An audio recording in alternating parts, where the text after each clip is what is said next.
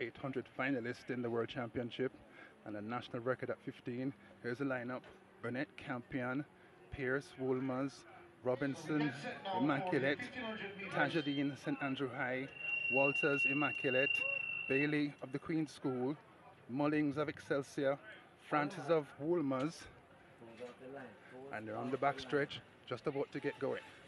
Heat number one. In fact, the final for the young ladies in class three. Yes, it is the final, and uh, they're running three and three quarters of a lap for this 1500 meters. And uh, Bailey of the Queen's School there out in front. She was fourth last year.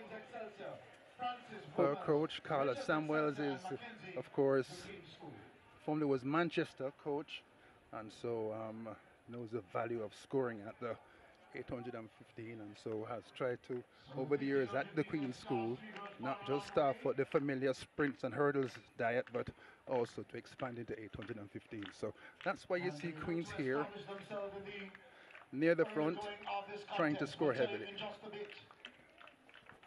Yes that is uh, the pair of Queens athletes Jadine McKenzie in uh, third. She won this event last year. Her teammate Bailey is out in front, and Tajadine of St. Andrews High trailing, hanging on to her shoulder.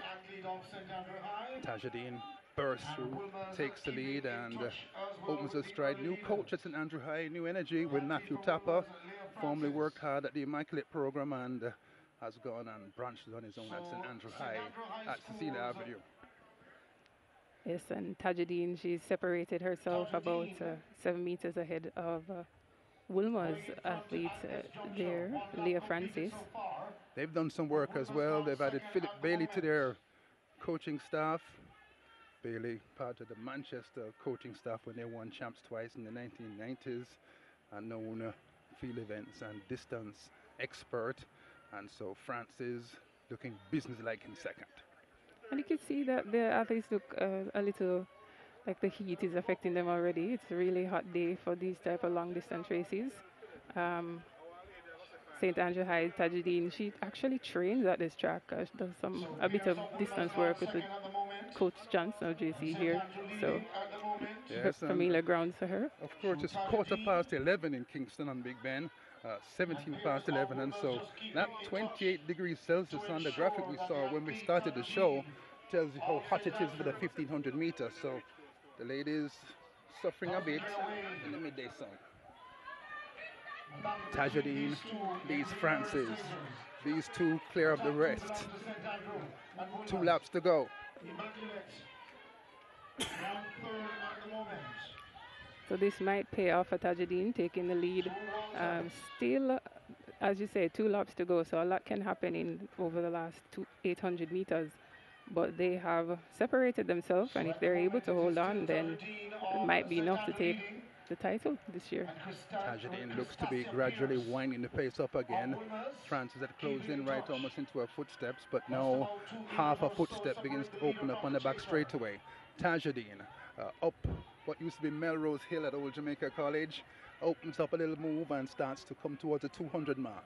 Francis holds on to her, and these two schools from Kingston showing some mettle at 1500 meters.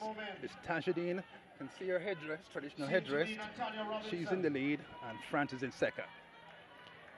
It's not what we expected uh, coming in the defending champion all the way in fourth, and her teammate back in fourth and uh, fifth and sixth actually, but uh, of St. Andrew's High for girls and Francis of Wolmer's girls first and second right now and maintain a really steady, strong pace out in front.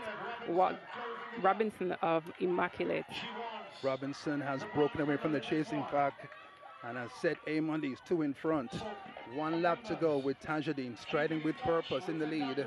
And uh, Francis looks like she's accelerating around the bottom curve. Francis looking the best of the two in the lead. And uh, the challenge from third place begins to fade a little bit. It's a chase on for gold and silver. Tajadine, that familiar Andrews top with the black shorts all the way down to her ankles. And Francis in second. Yeah, she did. She she she was seventh last year. Came in with a really a modest six minutes and 15 seconds time, and she made a bold move and went straight to the front, and it's paying off for her. Uh, Wolmer's Francis looks very strong. Step in. Looks like she's ready to take over the lead now. Francis looks strong, and but Tajadine replies with a burst of energy on the 200 mark. Tajadine had something saved up around the curve and breaks away from Francis. It's Tajadine of St. Andrew High who runs away from Francis with 150 to go. Tajadine into the straightaway, looking so good. Francis finds another burst of energy as well and starts to rally. Did Tajadine accelerate too soon? Here comes Francis on the outside. Francis runs past Tajadine. Tajadine can't respond. It's Francis of Wolmer's who takes the first 15 of the day and comes through to win. 527.27. Amazing performance there for Leah Francis. Uh, really good run from both girls. Uh, she both didn't come into this race with the, the strongest times, but they made bold moves. Tajadine led most of the way, all the way up until the 200 mark, made a move too early, and Francis bided her time, trailed well